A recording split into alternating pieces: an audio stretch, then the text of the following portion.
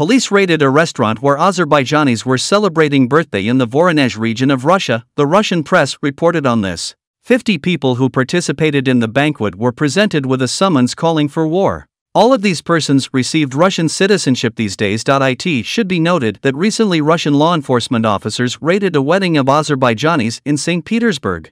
The documents of those who participated in the wedding were checked and five people were detained.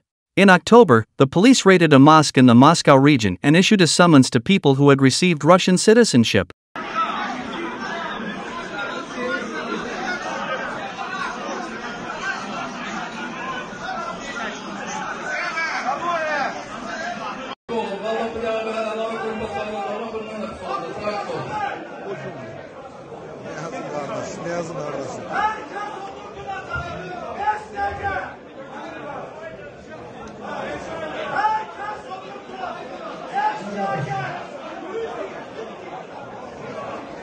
Ama Selaman Hafızları karşılığında sanırım.